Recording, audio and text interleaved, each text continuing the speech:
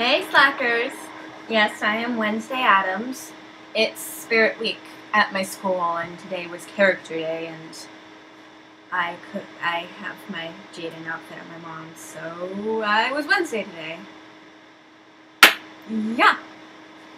Um, there's something I wanted to say. Oh, next week I have all of next week off, which is awesome. And there's a reason. Oh, because I don't have school that day, I wanted to try something a little different.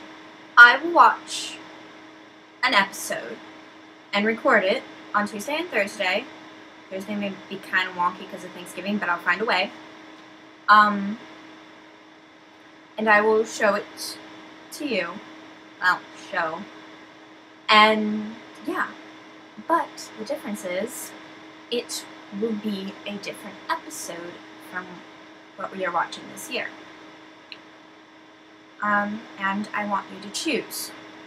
Obviously, we're not going to be able to see the whole series. We only watch it twice a week, and I'm going to stop in the middle of June. I did the math, and it takes about 36 weeks, give or take, to do a whole school year.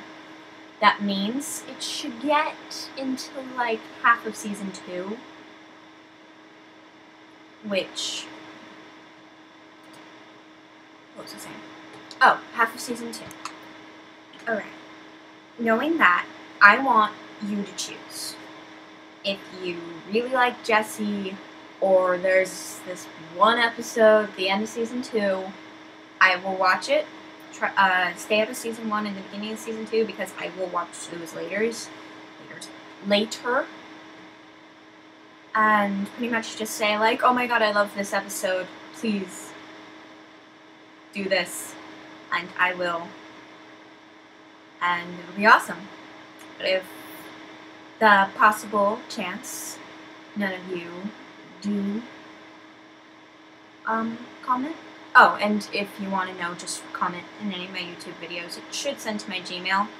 So um, it would be best if you do this one or Thursday. I'll have a reminder on Thursday and but you can do it in any of my videos. It would make more sense if you stick to the GX videos, but like it should still send to my email and all of that. So just comment, hey, I like season three, episode five, or whatever. And so yeah. Also, if you have two episodes, that's awesome because there's two days, so that works out. And I'm thinking about doing this every time I have a Tuesday or Thursday off of school, like Thanksgiving vacation, winter break, stuff like that. So, yeah. And if none of you, oh, in the possibility that none of you vote, which I know not a lot of people watch these videos, they're kind of boring. I, I realize this, I really just do that so I can vent out anger and have some fun. anyway, but if none of you do, I do have a couple episodes in my head, but so don't feel too bad, but still, like, don't don't be afraid to ask me. I, I really want people to go, I love this episode. So, yeah, try to stay. Oh, also, mostly because these videos are you watching me watching GX, don't do season 4. I'm sorry, but it'd be so confusing because it's not dubbed. I mean, I like subs a lot. I, I think I choose subs over dubs, but it's kind of complicated here. So no season four. Also, season four is so fucking depressing. I will start crying. So no.